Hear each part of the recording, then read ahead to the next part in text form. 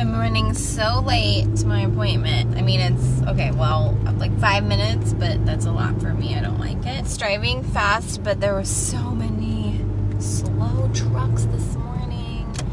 Hoping that my uterus will be eight millimeters, not 5.7 like it was last time because I've increased my Estrace and I just feel humongous. Okay, I'm gonna park. Let me scooch down. Yes, please. It doesn't feel like it's warm. Just want to give you a heads up. It might be a little more refreshing than you might have anticipated. Refreshing. I like that. Little touch of gel. It's a little That's fresh, funny. cool. A little bit of pressure. That's totally fine. Uh, my, I'm quiet. Doesn't mean anything. Oh yeah, no worries. I've had every ultrasound you could possibly have in life. No, I did see that.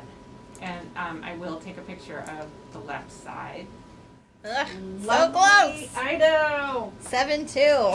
And it's got the lovely trilinear I do think it's beautiful. That'll be baby's first honestly. bouncy house right there. And they measure right there because that's where they'll like come in, make a little pocket, back up, and then boom. Right. Looks lovely. It's getting there. Oh, the same one. It's a Right good one? Okay. Sorry. It's okay. Yet another blood draw. Do you remember like last time was like Yes. ten thousandth blood draw? it's ten thousand and one now.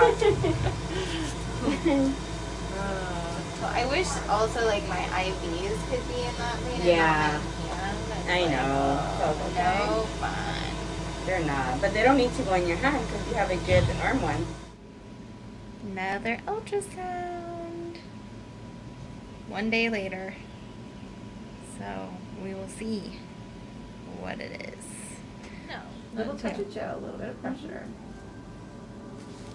It's warm today. Remember when it was cold yesterday? Did you come earlier? Yeah, you were like, Yeah. get ready for it to be refreshing. Yes, that's right. I remember that now. And it's a gland, so it moves.